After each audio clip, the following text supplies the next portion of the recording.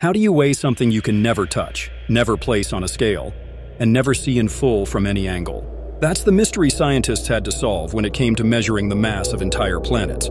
And the answer? It all starts with gravity.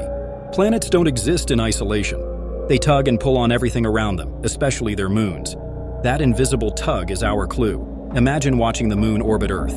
Its speed, its distance, and the time it takes to complete a revolution are all whispers from the planet's mass, echoing across space. Using Isaac Newton's law of gravitation and Johannes Kepler's laws of planetary motion, scientists realized that the motion of an object in orbit could tell them exactly how heavy the central body must be. If a moon moves quickly in a tight orbit, the planet pulling on it must be massive. If it drifts slowly in a wide arc, the planet's mass is lower. It's not just the moons either. Even the orbit of a spacecraft or the way a passing comet's path bends can reveal the gravitational fingerprint of a planet. This method is so precise, we can even weigh planets hundreds of millions of kilometers away, without ever going there.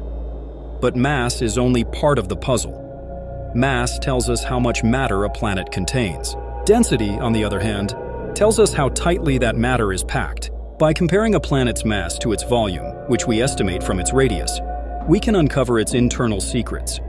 Is it a rocky world like Earth? A gas giant like Jupiter? Or something in between?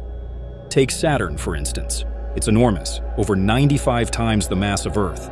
Yet it's so low in density that it would float in water. This strange fact reveals the nature of its composition, mostly hydrogen and helium, spread out across a vast volume. In the end, it's all about the math, Centuries-old equations, still unshaken, allow us to peer into the darkness of space and weigh the giants orbiting our sun. Without ever touching them, we know their heft, their makeup, and even their secrets, proving that in the vast silence of the cosmos, gravity still speaks the loudest.